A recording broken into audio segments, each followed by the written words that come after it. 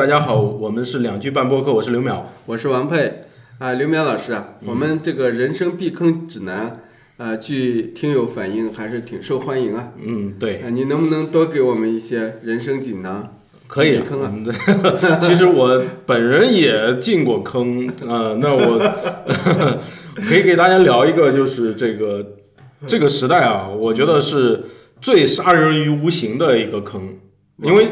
因为我们之前聊那些避坑，比如说让你省点钱，让你少买点实体书啊什么的，这个都是你在有个基础上的避坑。现在我们要谈这个基础的事儿，嗯，就是人生其实有一些东西是是不应该碰的，嗯，就是黄赌毒。呃，我们今天先聊一下赌博这个事儿。啊，赌博，对这个，呃，刘淼老师，你你对赌博据说很有研究，看你写小说也写了赌博。对对，我我也认识很多赌徒，我曾经也有过这个赌博的经历。然后呢，我要跟大家说的是，嗯。赌博这个真的是很难戒，嗯，非常难戒，难戒到就是，而且这个事儿麻烦在哪里呢？我现在可以，现在可以很坦然的谈这个事儿，说我说我戒了赌，但是事实上我我说我戒了赌，嗯，这个是不对的，因为还没有验证，因为我还没死，因为我离这个死亡还有很长的时间。你怎么知道自己在接下来的时间不赌呢？所以这个事儿就很麻烦。我宁愿我是一个很清白的，我从来没有赌过，这就不存在我戒赌的问题了，对吧？我是一个不赌博的人，但是你只要赌过，这个跟吸毒一样，你吸过的，据说那些人死前最后还是想吸。赌博这个事儿就是他会有一个广东人喜欢说的词儿叫心魔，啊，它是一种心魔，就是你看啊，他要有一定的诱因触发吗？他肯定是有诱因触发的，就是这一桌人打麻将，你会羡慕吗？打麻将，其实我倒不大羡慕。打麻将是这样的啊，如果你打麻将，嗯，它就是一个财富的再分配。嗯，如果是没有另外的人抽成的话，比如说你不是在麻将房，老千，其实几个人连无非是你的钱到我兜里，我的钱到你兜里。啊、如果是这个麻将局是一直打的话，而且大家的牌技差不多应该是平均分配的，啊、吧？所以啊，你看后来张小龙做这个微信，嗯，广东人发明了一个叫呃群里发红包，嗯。这个跟打麻将其实原理是一样的，因为嗯。微信不抽你的钱，嗯，比如说咱们这个群四个人，然后我发一个红包，嗯，大家四个人都领一下，你再发一个红包，四个人，其实打麻将就是这样一个原理。微信红包一开始为什么能流行，就是因为他把打麻将把打麻将这个动作去掉了，然后让你直接这个钱分配直。接拿钱，对吧？你想打麻将不就这么回事吗？大家咔每个人放五五块钱在桌上，一共二十、嗯然后每个人在那儿闭上眼睛抽，你抽走了十块，他抽走两块，有可能抽两毛啊，也有是有可能啊。所以啊，这个就是打麻将跟这个发红包是一样的。嗯，呃我们现在说的还这个打麻将呢，它其实是一个消磨时光的办法。如果大家都不抽老千，而且还能治治疗老年痴呆，对，嗯，呃，你要纯粹从消磨时光，而且你没有人抽签的话，我觉得是还可以打一打。嗯，但是我们现在要说的是，有很多赌啊，一种是地下赌场，其实这个在嗯过去的很多时间里，全国是有很多的，就是有人在那儿放风，然后你们进去赌，赌什么呢？嗯，赌这个叫百家乐。啊，百家乐。百家乐是最流行的，就是中国人最喜欢的一个比大小嘛，对，庄是什么？是庄是闲，每人拿两张牌。嗯，呃，你到澳门赌场也会发现百家乐是最流行的，对，当然这个它是有它的道理的。嗯，百家乐的所谓的庄家的抽成是最低的，这个庄家抽成也要跟大家讲一下，什么叫庄家的抽成？嗯咱俩现在，比如说王老师，咱俩现在抛硬币，嗯你你是头，我是这个背，对吧？如果是出现头，咱俩先都放一百块钱。嗯如果都是如果是投的话，我赢，嗯两百就归我了。嗯如果是背的话，嗯，我要抽掉百分之一，就是这两百块我要抽掉百分之一，嗯我给你一百九十八，嗯，这个百分之一就叫庄家优势。对，我作为当庄的，我要有个优势，我才愿意跟你玩，不然我干嘛做庄呢？嗯呃，百家乐在澳门赌厅里面，所有的游戏里面，它的抽成是最低的，它是百分之二点五。二点五是给赌场的是吧？对，二点五就是庄家就抽走了，我是做庄的，赌场就抽走了。在其他的游戏啊，各种哪怕不管你是赌球啊，还有他有玩那个俄罗斯轮盘啊、老虎机啊什么的，你算下来，从数学上来算，他们的抽成概率都太大太多。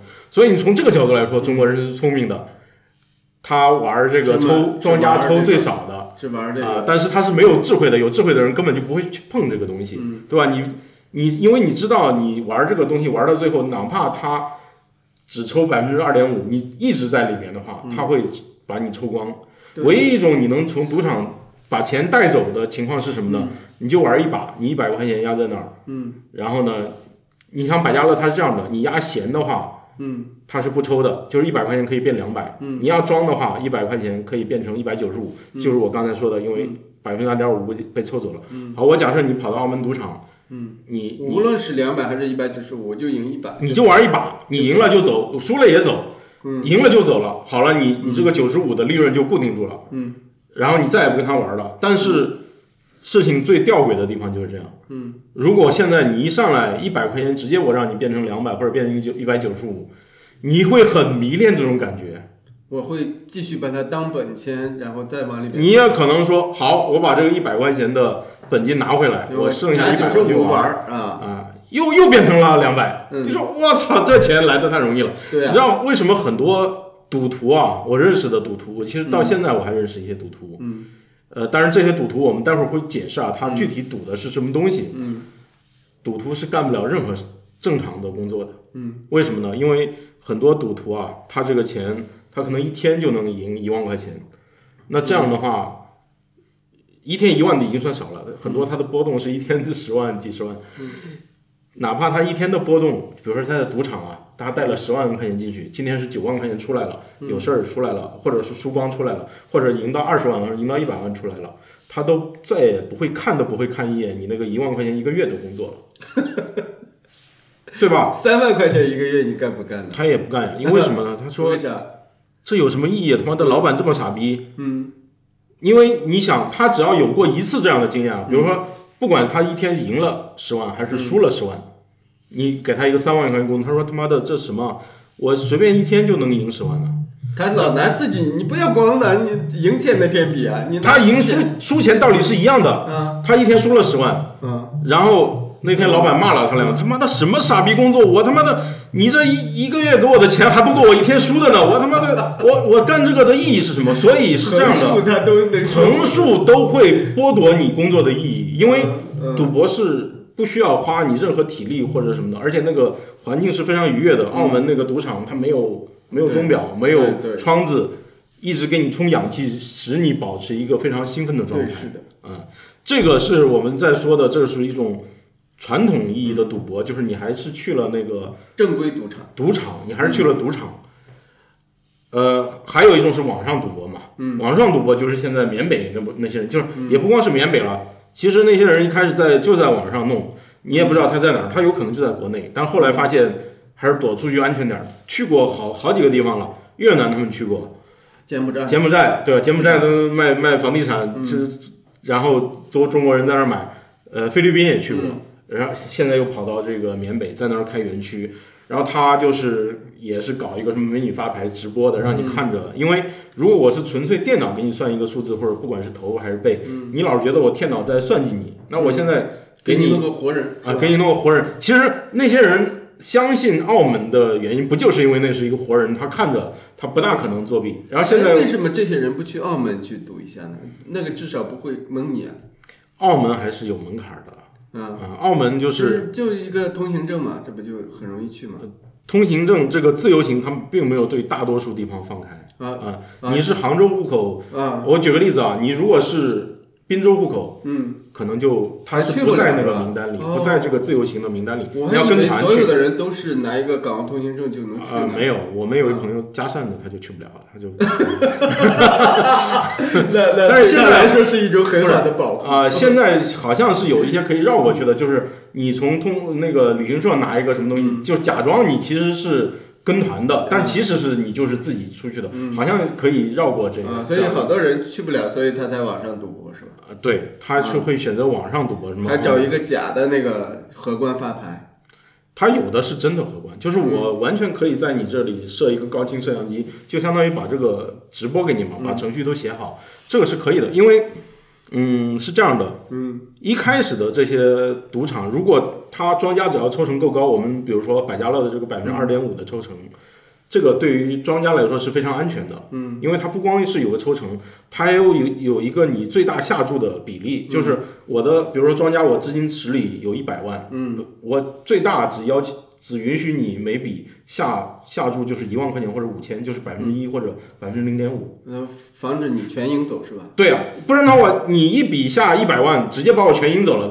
所所有所有的澳门赌厅都是这样的，他所以他会需要一个很大的庄家。你在澳门感受不到这个东西，是是因为庄家钱太多了。嗯，庄家有一个亿，你一你要敢下一一把下一百万，可以啊。这个就是有一个电影，就是《妈阁是座城》，严歌苓的作品，然后李小龙拍的嘛，吴刚演的。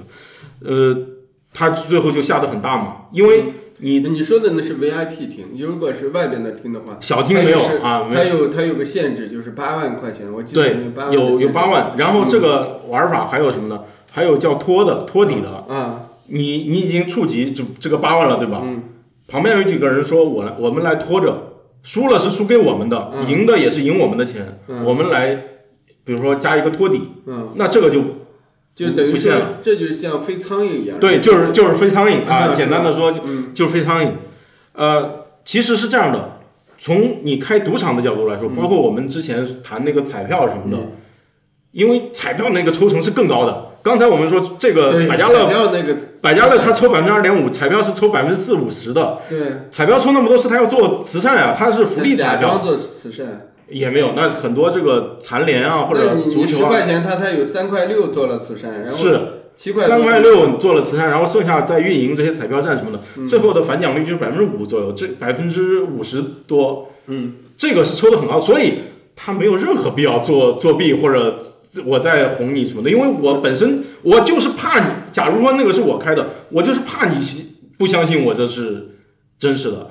现在这个网上呢，本来它是可以这样的，但是呢，它会经常遭遇一个情况，就是赌客太少。嗯，赌客太少，就使得它的波动大了。今天可能有个赌客过来，真的是你有一百万的本金是吧？赌客从你这儿赢了几十万，嗯你这个时候怎么办？对，怎么办？他现在要提款，要啊，你就是你你就不让他提你就不让他提就完了，你这啊，你再继继续那个，这个这个其实从如果说你所在国家，嗯，赌博是合法的，嗯，开网上赌场也是合法的，你要是不给他提这个钱，嗯，这个也是一种诈骗。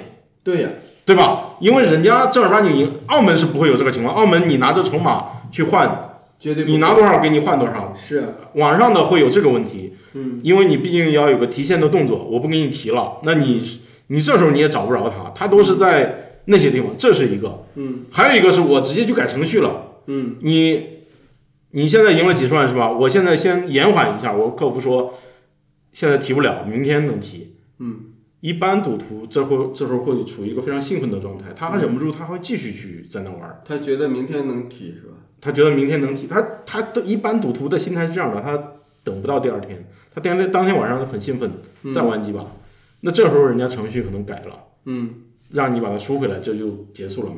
呃这个这个也是一种省得省得你提走是吧？嗯这个皆大欢喜。啊，对，我相信啊，我们的很多呃听众听到这儿呢，他觉得这个跟我没啥关系，我可能一辈子都不去澳门，我也不会相信所谓的网上真人荷荷官发牌什么的。嗯那我现在再跟你们说一些我们可能会遇到的，嗯或者说当你意识不到这是赌博的一种行为，因为我有一个朋友就是这样的，嗯他肯定是没有去过澳门，他也不玩这些东西，嗯，但他也陷入了债务的危机，为什么呢？他是借钱去买股票，啊，股票不是正经的吗？支援国家建设。对国 呃股票呢，它本来也不是支援国家建设，其实很多人一直有疑问呢，他说，呃，为什么国家要搞这个赌场啊？不股股市？嗯因为我觉得是当时的领导人，比如邓小平看到，因为人，你你如果是一个赌徒的话，嗯有任何东西你都要赌。嗯那股市是一个吸纳这些资金的一个很好的一个地方，嗯因为你不把你不让他把这个他的赌博这些欲望释放掉的话，他会去别的地方赌。对，反他会去正钱还让澳门挣走了是吧？对，这不如我们自己留下。你像股市的话，我知道有很多种人，就是我们追求的啊。如果你是一个价值投资者，或者你一直看巴菲特或者庞对对，他们说价值投资嘛？巴菲特就说了，就是看你看年报，这按着买就行了嘛。等着分红你一个要看年报，你要看这个企业怎么样，就是你要研究这些乱七八糟的。嗯研究完以后呢，巴菲特说，如果你每年能拿到一个百分之十的利润，那你就那就很好了对，啊。你要拿到百分之二十的话，那就跟我差不多了。嗯你要说连续三十年，比如说你是百分之二十以上，你是百分之三十的话，嗯巴菲特可能真的要找你接班了，因为他也就是这样才能做成这样。对，按照复利我们上次说过嘛，对七十公式。但是你知道，我认识的很多人，嗯他一张嘴，包括去年咱们有一个这个图书漂流群，嗯里面有一个朋友在那儿说，嗯他追求是每天百分之八还是多少？嗯，就是因为我们一直在讨论复利这个事儿，我们一听就觉得很可笑，但是他们一点儿不觉得这个有问题。那个聊天记录我都能给你找出来，他觉得他掌握了一种九天翻一番嘛，这是有可能吗？这个，呃，你的运气很好的话是可以的，嗯但是它是对应它就是风险跟收益永远是相相同的。一天涨百分之八，这个不是什么问题。你要你只要抓住一个涨涨停板就可以了，因为我们中国的一般的涨停是百分之十，还有那种科创板百分之二十的。嗯，你比如说你今天买到一个股票，明天涨停，这就是百分之十啊。对啊，所以你知道中国股市有一个玩法是什么呢？那些人叫敢死队，就是以前，呃，那个徐翔，啊，徐翔干的是吧？他们他们叫强板，怎么叫强板呢？就是今天有个股票，比如说格力，嗯格力本来十块钱，咔的一下十一嗯涨停了，第二天他们就要抢着进去。呃，涨停还要抢着进去。对啊，因为第一天嗯它涨停了，你再挂在那儿，除非人家卖出来，一般这个叫封涨停了，人家不肯卖了，嗯你是买不进去的。嗯那也有可能它稍微有点波动，你要赶紧买进去，嗯因为很多时候涨停是连续要涨很多涨停的。啊它今天涨停了，它很有可能明天要涨停。嗯还有这这是一种，还有一种就是新股上市也是这样的。新股以前就是要打鼓嘛。呃打你打中了新股，新股也是要连涨很多天的，很多人就会抢这个涨停。嗯那这个你只要抢中一个，嗯因为你就赌它不止一个涨停，或者说哪怕它现在已经三个涨停了，嗯你赌它不止四个涨停，不止不止三个涨停，它只要明天涨停一天，你把它卖掉，这一天就百分之十的利润嘛。嗯那你一直去抢这样的东西，这这就是一种玩法，因为它追求的就是这样。嗯还有一种追求的是，那涨停的是没有人愿意卖给你，刚才不是说了吗？嗯那跌停的嗯是你卖不掉，嗯，对啊。但是很还有很多人会买跌停的，啊，这有什么好处啊？比如说你格力啊，嗯因为这个王自如这个事儿，第二天就 十块一下跌停了，封跌停嗯九块钱，无数的卖单在那儿，没人买，嗯，这时候你进去买，买跌停的人在赌什么呢？这不是傻子吗？他不傻，他在赌什么呢？因为开盘是十块，现在跌到了九九块，今天它的范围理论上是九块到十一块，因为它它有可能涨停，也有可能跌停，嗯。只不过它现在跌停是给你一个机会九块买啊，嗯。因为确实这个在股票的术语里叫地天板。啊，对还有天地板啊，天地板就是今天先涨停，它一下给你砸跌停，你就跑不了了。你要有的，你刚才咱们说抢涨停板，指望它继续涨停的，有可能你抢完它直接来一个天地板，嗯。十一块买进去，当天就变九块了，嗯。这是完全有可能，就当天百分之二十就没了。还有一种在赌徒期待的不是天地板，而是地天板。嗯。我九块钱买进去，哎，发现跌停封不住了，还有更多像我一样敢死队进来，嗯。咱们共同把这股票拉拉拉到涨停，嗯，那你这个利润就不止百分之十了。你是九块钱进去，当天就涨到十一块，对，第二天一开盘，哪怕你十一块卖了，嗯，那也有可能你舍不得卖了，你继续期待它那个，这个就是他们的玩法。就是我们现在因为老是谈这个复利，我们觉得已经司空见惯了。就是我们觉得，比如说这个，因为一年给你百分之二十四的利息，嗯，三年就翻翻倍了，因为我们觉得这个已经很厉害了，对吧？对，这些人追求的是一天，嗯，一天如果给你百分之二十，对，那三天不就翻倍了吗？对四天这一周还没过完呢，第四天礼拜一开始买，第礼拜四卖出去，一百万就变成两百万了。真有人翻倍过吗？有，确实有啊。就刚才说的，像徐翔这种，他其实也是资金比较少，但是他因为资金足够大以后，他可以开始操纵了嘛。但是他一开始他肯定是运气很好的，这就跟你一个运气很好的人跑到赌澳门赌场，你没有那么贪，你那时候拎了一一把钱出来，这是可能的。就或者你中彩票也是有可能的。嗯，有的人是能弄到，但是你要把它当一个常态。你说我，因为这是多可怕！一每年有两百多个交易日，你每天都百分之十、百分之二十的概念，你算一下，就是七天翻倍，一周可能就翻倍了。五十二周你翻多少倍？二的五十次方，你算那个数字是多少？有可能吗？不可能。这是绝对不可能。但是这些人就是相信。嗯，赌徒为什么会赌？就是他愿意相信一些超越了常识的事情。因为我们，你算过复利，你就知道这个是一个常识，就是不可能有这种事儿嘛。嗯，呃，因为股票是这样的，哪怕是你看中了一个股票，咱们还说格力啊，格力，嗯，咱们回过头来看，这二十年它的表现是非常好的。你真的如果是二十年前你买了格力的话，比如说你花了一万块钱买格力，很有可能这一万块钱现在变成五十万了，就是二十年翻五十倍。说当年买那个万科也是嘛，对，或者买茅台嘛，对吧？都是都是有可能，但是这是你回过头几十年的一个结果。对，如果你看一天的结果，你是没有任何规律的。嗯，哪怕是它这几十年确实是一个上升的趋势，它它也 曾经有跌停。跌没？对，像刚才咱们说的，你是王自如，你就跌没了吗？也没跌没，王自如让它跌了一点儿，就是跌了百分之几吧。对，那这就说到了，有的人他是借钱买的。哦，对你有杠杆，这就是杠杆了。对，那就放大了。王自如只是给你造成百分之三，但是你的钱都是借的，嗯可能对于你来说百分之十的钱就没了。嗯然后你一直去借钱，借钱的这个利息呢，往往又是很高的。嗯，你像这些人为什么会借钱呢？因为他觉得一天就能拿到百分之二十，我你这个一年的百分之二十的利息算什么呢？对我来对说，对但事实上你能算得过这些借给你钱的人吗？对，对吧？人家其实就不贪，我一年就要你百分之二十的利息就可以了。嗯，你你拿着我这个钱去去挣那个每天百分之二十的利润，所以这个就是赌徒他们在赌的一个原因嘛。嗯这个这种心态在我们的 A 股是非常多的，哦非常非常多。就是咱们刚才说了，巴菲特这个所谓的价值投资是吧？嗯但是价值投资，人家跟你巴菲特跟你说了，就是百分之二十一年的，你能做到这个就很好了。嗯。但没有人愿意，就是有记者采访巴菲特说：“哎，他说你说的这个办法好像没有什么难度啊，就是没有任何技术含量，也不需要怎么着去看这个线那个线，对吧？对啊，你这个办法就是买入一个好股票持有，这这个办法既然这么简单，为什么就大家都做不到呢？别人做不到呢。啊、他巴菲特就说了一个很有智慧的话，嗯，他说没有人愿意慢慢变富，慢慢的变富，对，get rich slowly。对，嗯。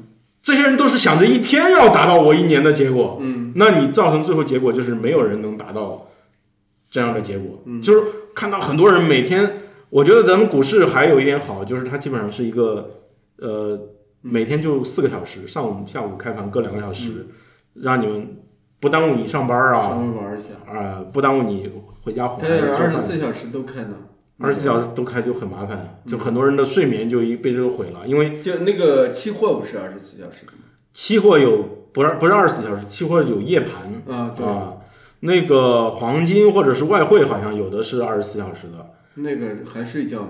不睡了。所以很多做这些东西圈是二十四小时。啊，币圈，所以啊，很多你再聊聊币圈嘛？嗯币圈和赌博是天然有亲缘关系啊。是的，币圈的话，我们就说啊，我们刚才已经说了，就是有的人他觉得他买币，他说我不玩那个期货合约，我不加杠杆，我就持有，我买五个比特币一百万放在这儿，但是这个东西的问题还是在于它每天的波动太大，嗯，对就是你小心脏受不了。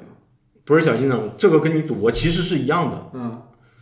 今你今天五个比特币一百万买了，嗯。它明天的价值就变成九十万了。嗯，这个跟刚才咱们第一个说那个是一样的，对。它马上抹杀你任何工作的意义。他们老板说：“也不想上班小王，你把这个今天、明天早上给我，把 PPT 给我做了，他妈的一个月给我三万块钱，我跟一天比特币就亏十万，月我操。三万，一个月三千。涨了你更屌了，涨了就是他妈的是去一边儿去，我老子辞职了，对吧？但是这钱你也没见着啊，你而且现在在你是没见着，但是它仍然会影响影响你心态，人就会是会被这个数字来影响的。啊，你哪怕说从这个角度来说，你持有那些股票其实是一样的，因为股票也，但是股票相对来说，这我们要看现在看的是它的波动。比特币那些买那个空气币的那些人呢？空气币更刺激啊，所以有的赌，有的赌徒他就喜欢赌这样的东西，他就有有发财的吗？这种买这种币，也有发财的，嗯有发财的就是发行币的发财了。发行币的肯定是发财，因为割韭菜嘛。也有的就是它能及时测出来，但是这种是非常非常少的，因为嗯这个是极其它是刺激你的这个多巴胺的，还是内啡肽啊？我不知道，就是刺激你大脑。赌博它是一个很难戒断的一种恶习，而且它跟黄跟赌还黄跟毒还不一样。嗯黄的话，你你一天晚上一天到晚搞这个，我看我一个朋友就是这样，一看就是纵欲过度的，就跑日本那哥们儿，我不说了是谁，呃，你可能也知道，一看你这照片，你他妈的一天到晚就只想这些事儿。然后还有毒品也是这样嗯啊，你要是冰毒的话，你那有一个四环素牙，嗯，《绝命毒师》里面有对有这样的展现。它都伤身体，那两个都伤身体。这个也是伤，但是这个是伤的你的心智。嗯其实你真的跟这些长期赌博而且没有戒掉的人，嗯，去沟通或者联系的话，发现他们心智有点儿不正常了。那我再请教个问题，像币圈加杠杆是怎么加的？别人加杠杆那就更更厉害了，就那一瓶就最厉害的杠杆是一百倍还是一百五十倍？那是怎么玩呢？一百倍，一般来说不会有人用足这杠杆，用足杠这个杠杆什么概念呢？嗯，涨百分之一相当于涨百分之百，放大一百倍嘛，就是你赌比特币下一秒钟涨百分之一，就是它本来两万美金涨到两万零二百美金，嗯然后呢，你你不管压多少钱，你可能比如说进去十万块，嗯，下一秒就变成二十万，但是你得赶紧把它平仓卖掉，因为不然的话它再跌回来呢，对吧？跌百分之一，你这你这就没了。就没了，就结束了。要跌有的百分之二怎么办呢？百分之一就强行平仓了，就把你这个就所谓的爆仓嘛。嗯每次是这样的，每次你看到比特币大幅波动的时候，我们国内一些喜欢标题党的，还他妈的是一些正规媒体，这那什么今夜什么二十万人无眠，什么几几亿的爆仓什么，所谓的爆仓就是这样，因为它它的涨或者跌已经超过你设定的那个范围了，然后你的就强行平仓了，因为你有多少钱都没了。对，这个就是这个有些据说有些小孩在玩这个，就有些人有有些年轻人，你去查那个新闻嘛，有些小孩就自杀了嘛，因为就是玩这个太刺激了，就是他觉得，因为对他们来说这个就是一个数字数字，但是他没有意识到背后他其实已经欠了平台，就是美美国有个平台叫 Robinhood 罗宾汉，啊罗宾汉，罗宾汉就把一个小孩害了，他他是我可以给你一些信用的嗯 credit，就是说你其实已经亏完了，但是你还我没有给你强行平仓，然后让你欠着我的钱。嗯那这个因为这个平台都是真实身份，真实那个，你其实就欠了好多钱啊，那这个是要还的。那个不是美国有个人破产制度吗？我破产不就行了吗？但这不知道他是怎么怎么弄了，他觉得欠了，因为可能你这个还不到破产的，就是你家里或者你家里还有，因为你小孩儿可能这个这个债务可能要家里还或者什么的，嗯就搞不懂是怎么怎么弄的了。但是这种悲剧也发生很多呀。其实这个说到底还是一种病态的赌博嘛。嗯病态赌博就是你去在一些赌博合法化的国家，比如说英国，嗯他们会有一个这个叫，就阻止你、防止你赌博，或者比如说像新加坡是，你可以登记。这个我们宝翠屯老师说这个事儿，嗯新加坡任何一个家庭，你走到这个赌场登记，说我不允许我这个家人进入这个赌场，嗯以后你就是黑名单了，你就进不去了。啊，就是他会保护你这个家庭是吧？对，但是你如果真的是一个病态赌徒，你会想尽一切办法赌。借别人身份，对你借别人身份一个，你上网赌就行了。啊很多网上的这这种赌场，它是不验证你身份的。嗯呃，尤其是虚拟币这些，它虚拟币就是用来绕过这个身份的限限制的嘛。就是赌徒的这个东西，我印象很深的就是英国导演盖里奇，嗯。他前两部一个叫《两杆大烟枪》，还有个偷抢拐骗，就是都是展现赌徒的一个事迹的。嗯，就其中有一个赌徒，就是他那个布拉德比特演的那个偷广偷拐抢骗这个，那个是德尔托罗演那个赌徒嘛，嗯，他叫呃 Frankie Four Fingers，、四指弗弗朗奇，嗯。为什么他是 four fingers？他跟很危险的人对赌，最后输掉他付不了，人家剁他一个手指头。嗯，但是这个人就算好，现在少了一个手指头是吧？他们给他设局，他说，你知道，他说他很爱赌博，他只要一听有赌局，嗯。马上他那个兴奋就上来了，嗯，就是那个呃这个盖里奇很会拍啊，徒都会这样吗？很多赌徒都是这样的，因为赌徒的大脑的神经结构是不是已经改变了？我觉得是有点改变。赌徒是这样的，嗯。呃，有一种是你一上来就赢的，这个是很容易陷进去的，因为很多人，比如说他到塞班岛旅游或者到澳澳门旅游，嗯。他也因为当时当地没有别的什么东西，什么大对三巴去玩，当地就是赌场，就是。很多人是这样，到那儿就是我我拿这个不管多少钱，嗯。输了就结束了，赢了也走，这是最好的。对啊，有的赢了不肯走，嗯。还有的是因为有有个人就是要走了，说我这儿有点儿这个港币，嗯。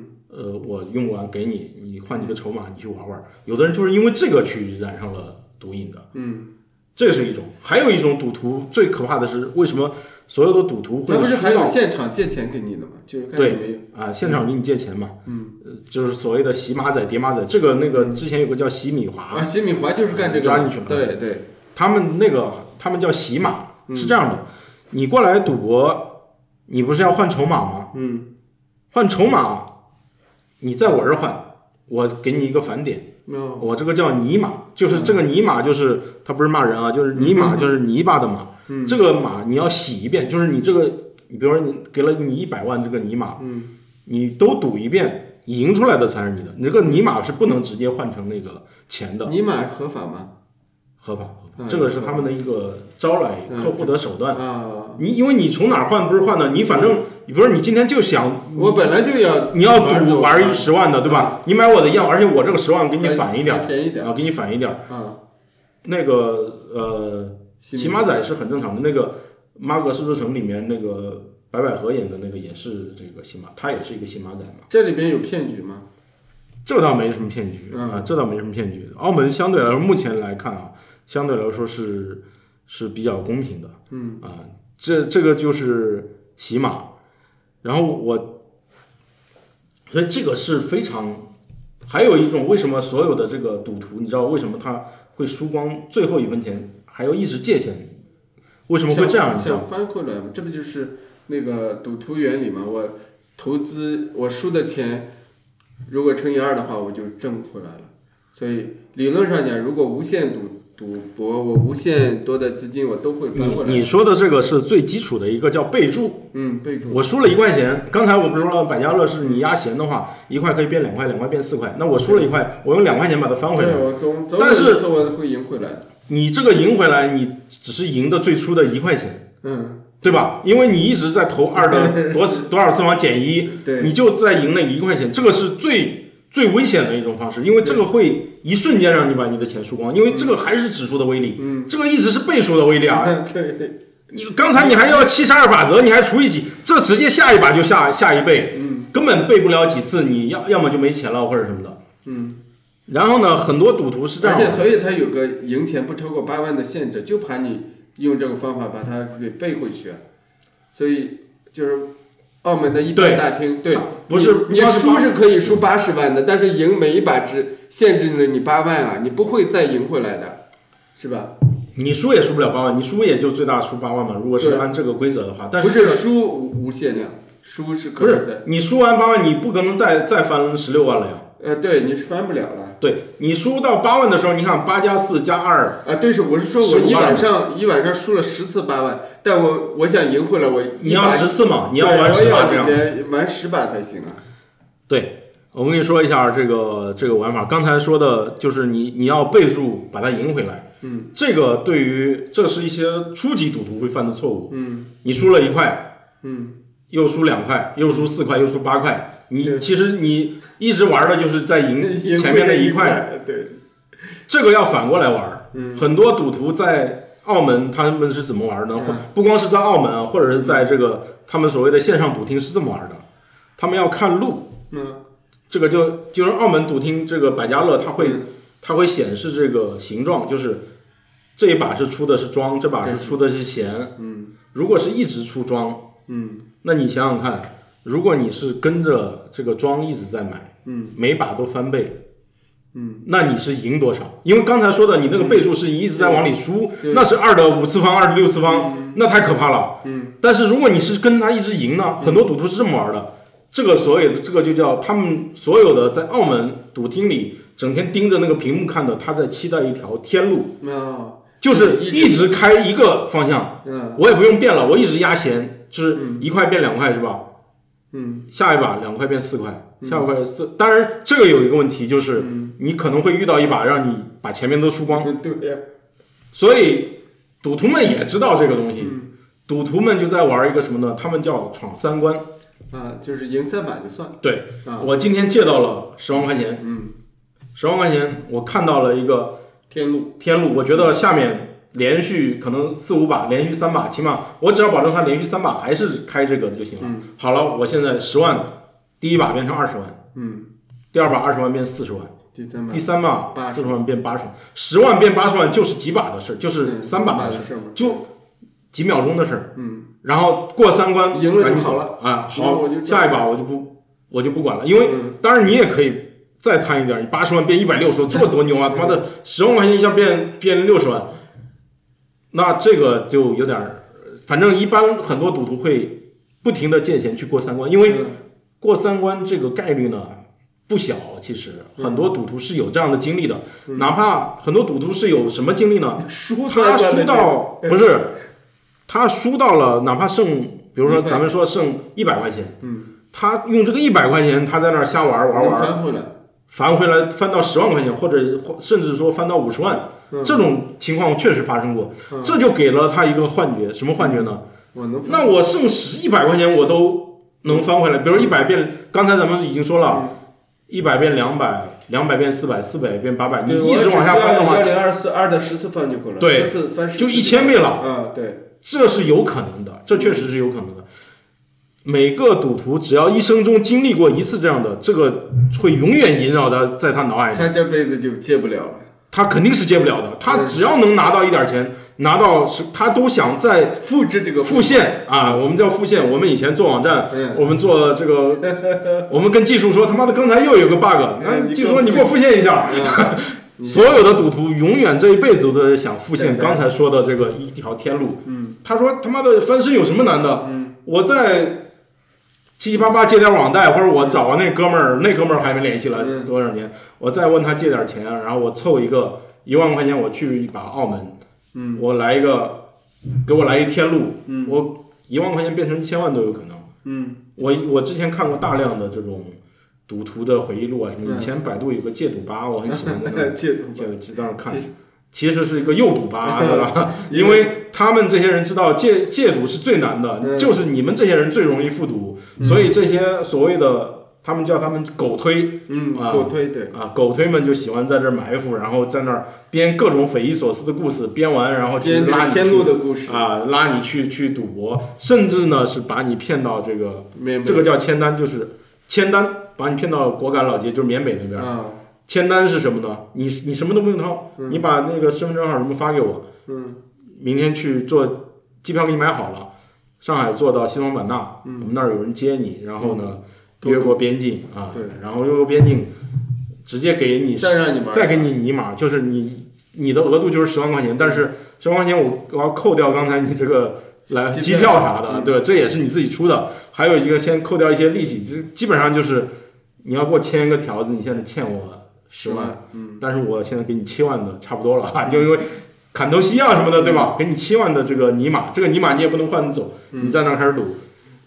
这些人一般是有去无回的，因为走到签单这一地步的人呢，他的债务已经是，他已经是一分钱在国内都借不出来了，啊，他才会走上这条路。亲戚朋友都借完了，肯定是都借完了了，好了，你现在给你七万尼玛，你这儿输是吧？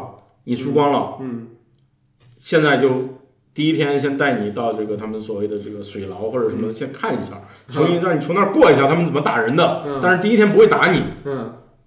第二天开始好了，你也看到了，嗯。那些人都是还不上的，嗯。你赶紧开始给家里打电话。啊。然后这些人，你知道他他给家里打电话，他家里他的朋友，他的任何一个人早就不愿意搭理他了。对呀、他比如说那你，他有的给他爹打电话，一打马上开始哭，呀，这个我马上他们要打死打死我了，他爹直接电话就挂了，这因为这一出我见过太多了，你他妈的又在给我编，又编是吧？对，所以就导致那些人就要遭遇非常残酷的，什么让你空口吃那个小米辣，或者是让你怎么打，而而且那边又没有这个法律，又没有禁毒什么的，那些很多看人的打人的小伙儿都是吸冰毒的，精神倍儿好。打起来就不不不停的，东北人，不一定啊，不一定是哪儿，搞不懂。这个就是那个凤凰台，就最后这些人的最后的目的地就是缅北是吧？